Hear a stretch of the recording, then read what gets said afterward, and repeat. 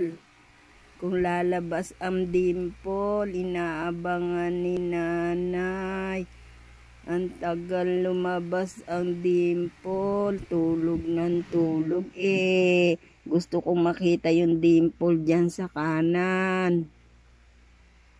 Oh. Gusto kong mala makita yung dimple sa kanan.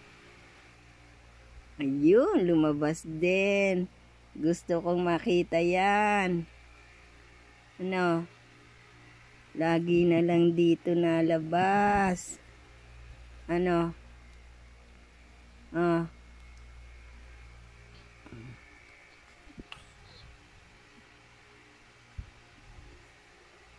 Patingin naman ang dimple niyan.